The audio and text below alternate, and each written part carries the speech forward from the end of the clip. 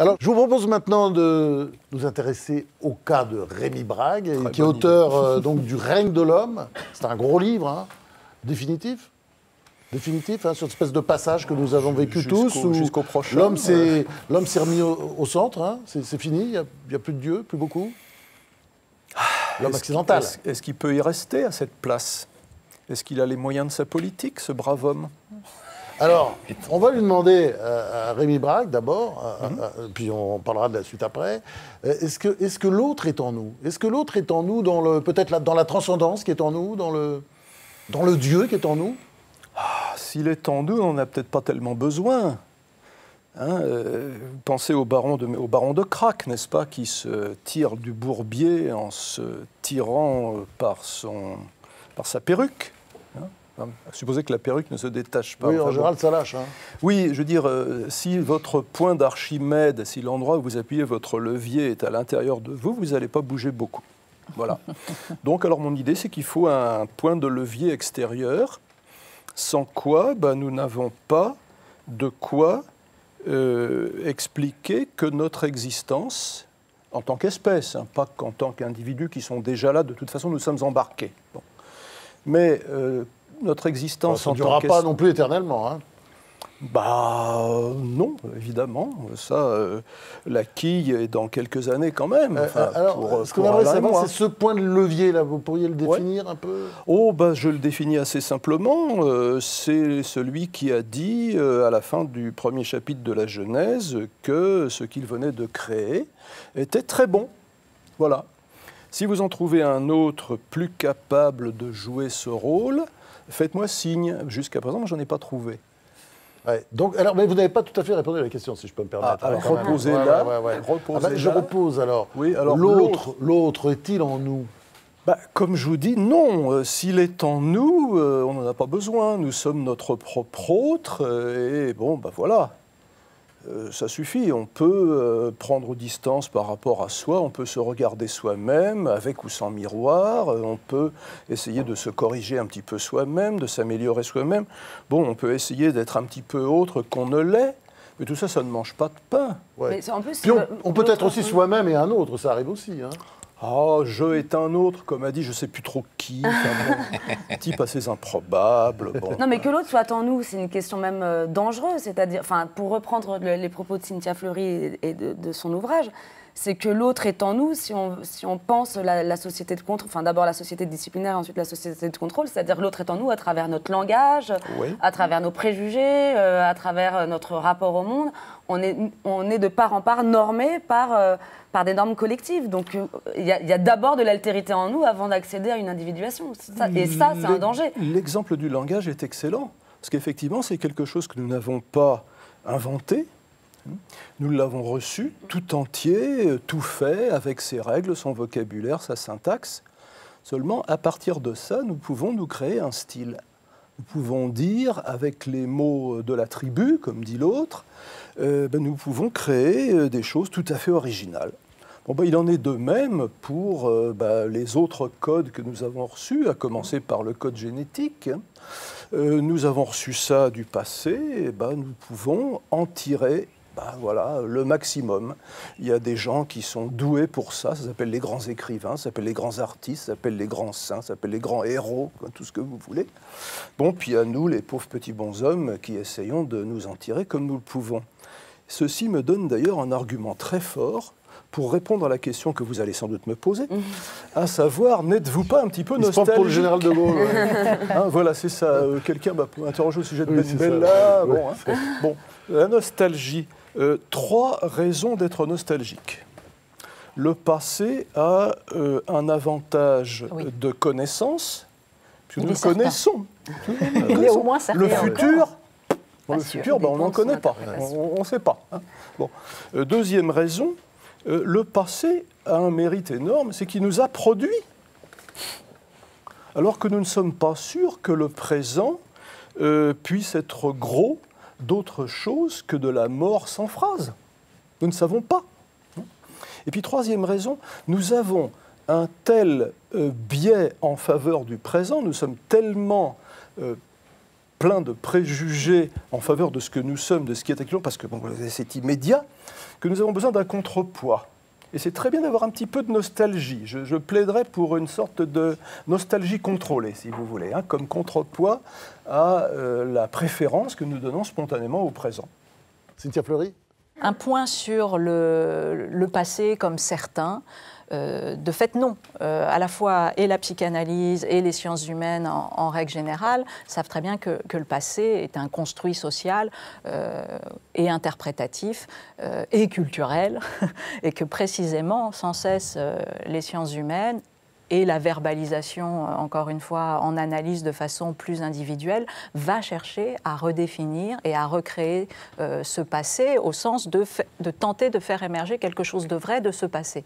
Donc c'était simplement pour dire que... voilà, il n'y a, pas de, il a jamais de certain, en fait, ni dans le passé, ni dans le futur. Il n'est pas connu certainement, mais il a certainement existé. Voilà. voilà. Alors, Rémi vous avez de la chance parce que euh, Géraldine Mühlmann veut vous interroger.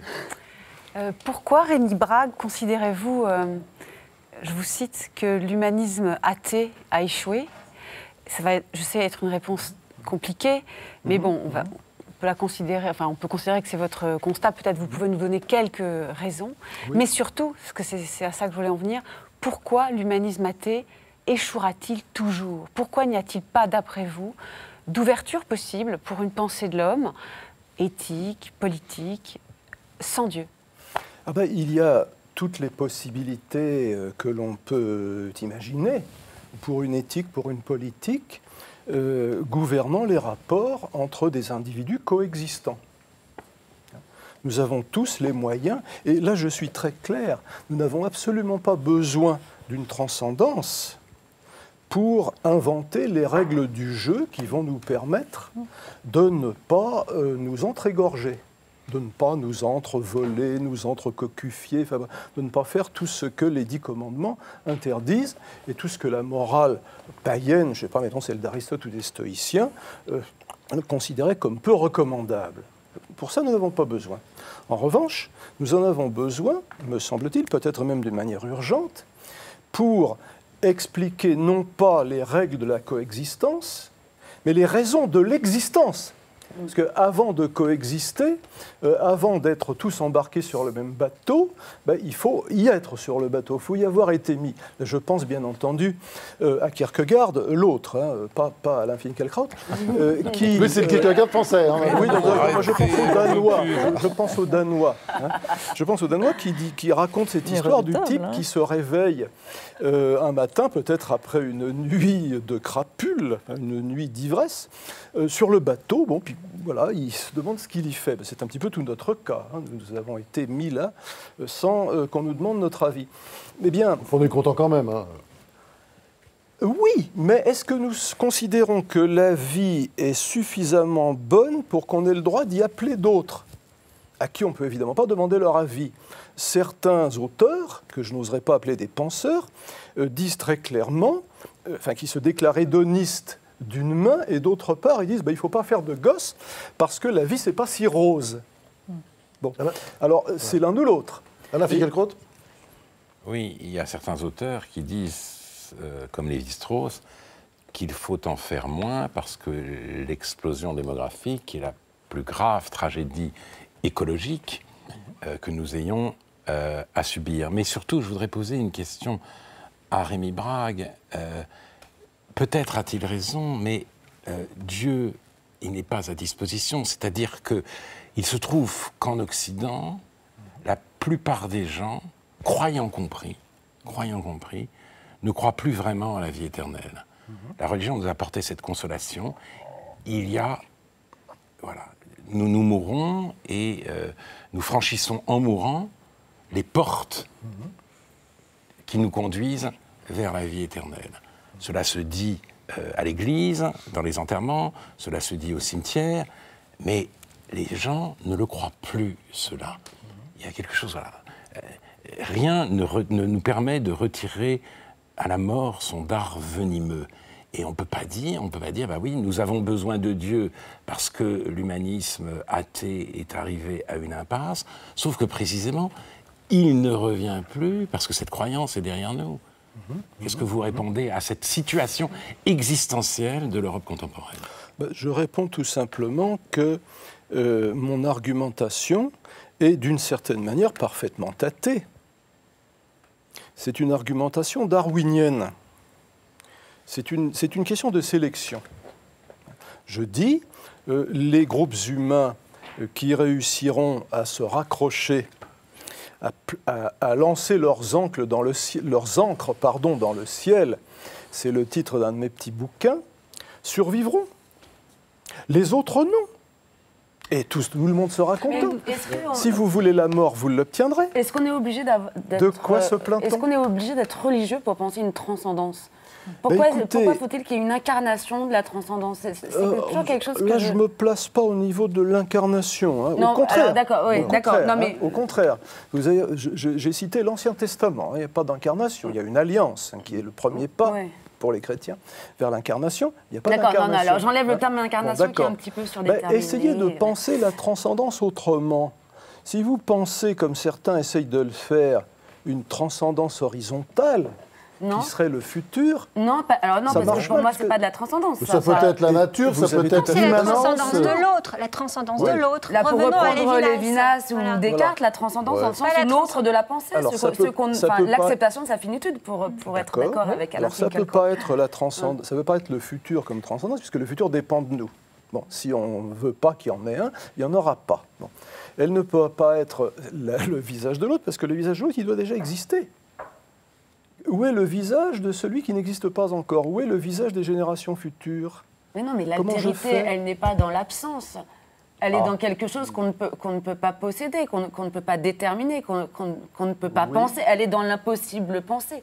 Oh, Elle est, voilà. elle est dans le lieu où la pensée Oui. euh, se met en échec. Elle, elle est là où il n'y a pas de toute puissance de l'homme. Enfin, Oui. Ah, tout, ça, à fait d'accord, tout à fait d'accord, mais pour ça, je veux dire, je, je ne mobiliserai pas une artillerie euh, d'un calibre tel euh, qu'il mériterait que je l'appelle transcendance. La question de la légitimité de l'humain, est-il bon, tout simplement, et euh, par rapport à, quelque- à quel concept du bien est-il bon qu'il existe une espèce humaine sur la Terre? Bien sûr. Mais ça, c'est la définition de l'humanisme. hein. C'est qu'il y a ce Oui. choix Et qui la est posé. réponse est Dieu, donc. Ben, je- Pour vous, la réponse, c'est Dieu. Si la réponse est l'homme, vous allez obliger l'homme à porter sur lui-même un jugement. Mais si la réponse Et- est Dieu, on va sacrifier l'homme au nom de Dieu. Oh, quelle conception de Dieu vous faites-vous Bah, c'est la théologie chrétienne. Oh là là Mais Jésus là, se sacrifie. ah, Bah mais oui. alors justement, il, il se sacrifie de manière définitive, de manière à cesser tous les sacrifices. Mon grand copain Stromza de, de- de l'université hébraïque a écrit tout un bouquin qui s'appelle La fin des sacrifices. C'est tout à fait ça, tout à fait ça. Hein Euh, Géraldine. Oui, alors c'est vrai que Dieu, comme transcendance, on, on l'a déjà eu dans l'histoire. Ah oui. Et c'est pas un jugement oui, on peut, de valeur. on peut pas faire Et mieux. c'est vrai que vous- assumez qu'un certain retour en arrière, je Ah oui. Mhm. vous cite, est, est nécessaire. Et, vous, vous- vous écrivez, pour un piéton comme pour un automobiliste, revenir en arrière est la conduite la plus raisonnable lorsque l'on constate qu'on s'est engagé dans un cul-de-sac. Mhm. Oui. Mais est-ce que vous pensez que l'histoire des hommes, et notamment l'histoire des idées, Mhm. est comparable à des voies de circulation? Écoutez, euh, cette image euh, est à l'arrière-fond de tout le discours, du, tout le blabla, si vous préférez, sur le progrès ou sur la Bien sûr. réaction. Mais sans parler Non. même de progrès, Mhm. est-ce que tout simplement, n'y a-t-il pas des tas de choses que les humains vont inventer, peuvent inventer encore, que nous ne savons même pas Comment se fait-il que vous ne fassiez jamais ce pari? Pas le pari du progrès, ça peut être l'horreur aussi, mais le pari de l'invention, tout simplement. Vous allez me dire, c'est un peu nietzschéen peut-être pour vous, mais on peut peut-être inventer des valeurs demain. Nietzsche est un excellent ennemi. euh, euh, non, je crois qu'il faut euh, l'accepter, euh, faire l'accepter le bras de fer, puisqu'il synthétise à peu près bah, tout le 19e siècle. Hein. Donc il faut accepter ça, mais lui demander, euh, cher monsieur Nietzsche, comment faites-vous pour créer une valeur? Pour moi, c'est aussi facile que créer une couleur fondamentale. Hein, ce qu'on peut faire, on a trois couleurs fondamentales, hein, bleu, jaune, rouge. Bon, on peut les mélanger de, de 100 façons, de 1000 façons. Bon, vous obtenez Rembrandt, vous obtenez aussi n'importe quel barbouillage euh, du peintre euh, du dimanche, mais vous n'aurez Mais jamais on a la inventé des possibilité. valeurs. Regardez, Pardon par exemple, vous parliez du cocufiage, un mot que je Oui, déteste, c'était oui. le vôtre tout à l'heure. Oui. Longtemps, c'était effectivement très péjoratif. Aujourd'hui, on peut le reconfigurer parfois en, en histoire d'amour, en passion, et après tout, pourquoi pas Bah, écoutez, vous là, vous mélangez. Votre conception, je vous la laisse. Je dis juste que les humains ont inventé, sur des situations analogues, Oui, d'autres manières de les évaluer. Mélangeant, en mélangeant des valeurs préexistantes. Et là, le mot valeur, d'ailleurs, qui a aussi un sens euh, en, en théorie des couleurs aussi, comme vous le savez, euh, prend tout son sens. Hein, vous, avez, vous venez d'évoquer euh, l'amour, euh, des choses comme ça, les sentiments. C'est des choses vieilles comme le monde. Non, euh, la phrase que de l'évaluation. oui, oui, la phrase que j'ai écrite là, je l'ai faite, euh, c'est dans le, dans le plan Afro-Jojo.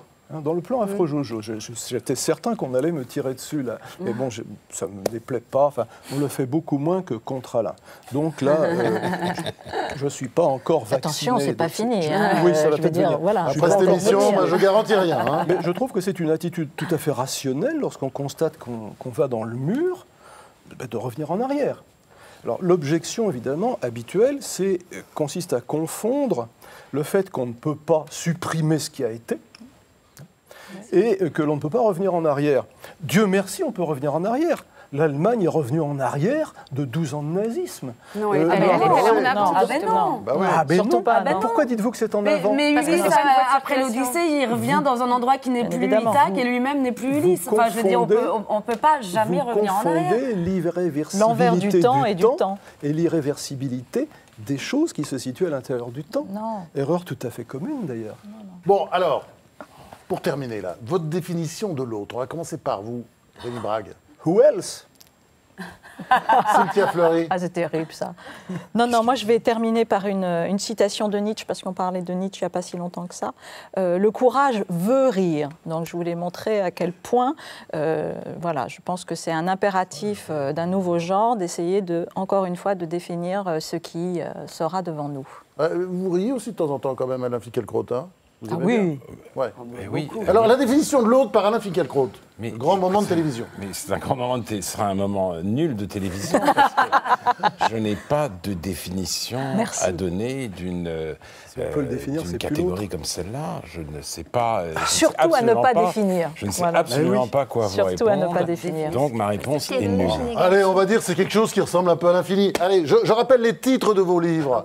Rémi Brague, Le règne de l'homme. Voilà, c'est un livre définitif. C'est un livre royal, hein, on peut dire. Oh, Il y a le propre de l'homme, lui, qui est un livre propre. euh, C'est le éditions ceux que j'ai écrit sous ce titre, de très loin. Cynthia Fleury, alors là, euh, voilà, elle se paye la blanche, la collection blanche, donc euh, beau style et tout. Les Irremplaçables, un livre irremplaçable.